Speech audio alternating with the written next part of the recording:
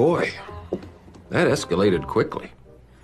I mean, that really got out of hand fast. Rhetorical question.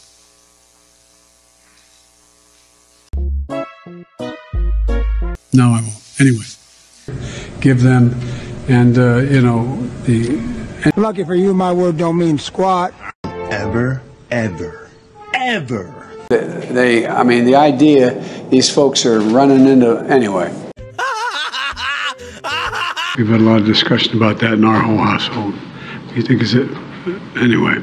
I don't understand the words you just said. Do you speak uh, any English? They say they're going to renew the two trillion dollar tax cut anyway.